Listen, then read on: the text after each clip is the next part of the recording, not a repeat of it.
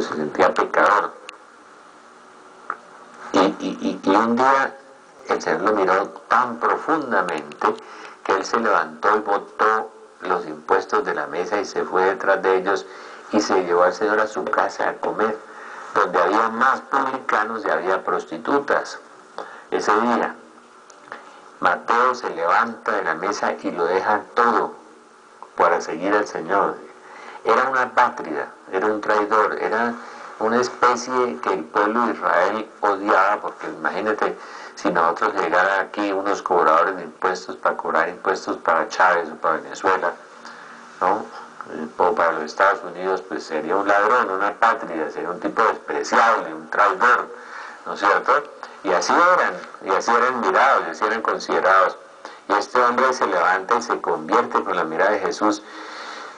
Cuenta, creo que es María Altorta, cuenta que, que, el Señor entró a la casa de este hombre que era rico, porque claro, cobrando los intereses que quería, cobrándolos de una forma usurera, todas las cosas, tenía una buena casa, buena ropa, todas las cosas.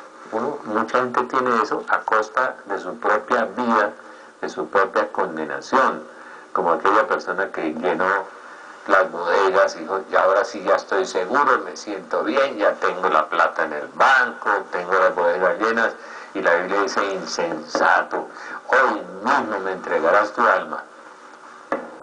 Acuérdese usted que tiene tanto. Me va, a entregar cuenta al Señor y alma al final de su vida. Entonces, Mateo escogió la mejor parte, la salvación, escogió a Jesús.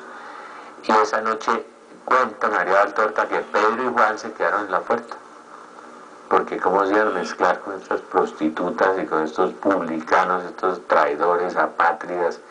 Y el Señor se levantó de la mesa y vino hasta la puerta y les dijo la frase del Evangelio.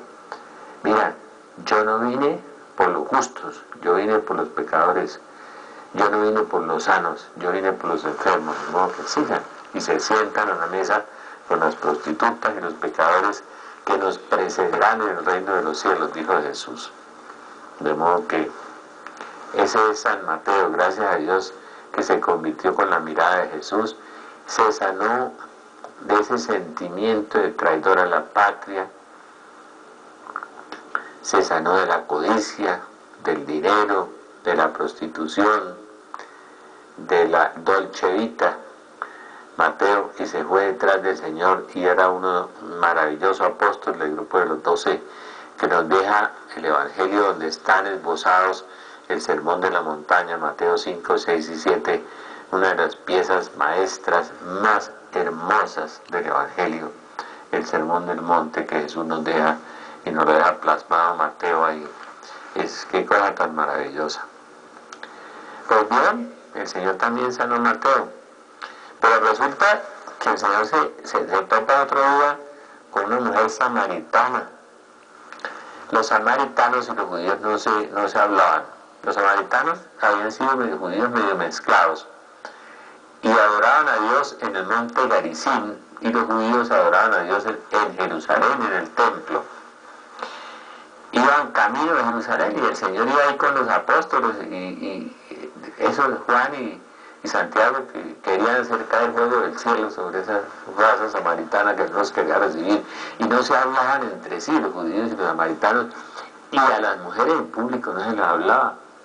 Y Jesús tiene la humildad y la grandeza de la misericordia y de la humildad de Dios de acercarse a esta mujer y usar un elemento material el agua. Y le dice dame de beber porque ella estaba sacando agua del pozo. Y dame de ver, un judío, como tú judío me hablas a mí que soy samaritana? ¿No? La humildad de Jesús y la psicología de Jesús y la pedagogía de Jesús. San Pablo nos va a hablar después de eso y nos va a decir, yo me hago todo con todos para ganar algunos para Cristo. Y luego con los griegos, judío con los judíos, abogado con los abogados, banquero con los banqueros, economista con los economistas, mendigo con los mendigos, me hago uno a todos, la empatía, buscar el diálogo humano, la parte humana, entrar, como decía vez San Ignacio, entrar con lo del otro y salir con lo mío. Eso es lo que Jesús hace. entró con lo del otro, entró con el vaso de agua, le pidió el favor, se humilló, Dios tan humilde, ¿no? Que se hizo hombre. Y, y la mujer empieza un diálogo impresionante, dice que eh, le habla de que, ella no ha tenido marido y el Señor dice, sí, dice la verdad, porque has tenido cinco y ninguno ha sido tu marido. No, sí que tenemos samaritanas, que han tenido dos maridos o dos mujeres, o tres o cuatro. Samaritanas tenemos por todas partes, y samaritanos. Y Jesús le dijo, ninguno ha sido tu marido.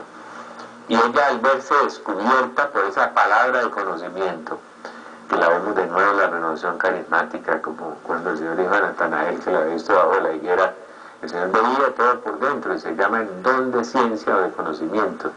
1 Corintios 12. Y, y ella al verse descubierta dice, pero tú eres el Mesías, el que iba a venir. dijo, sí señor, sí señora.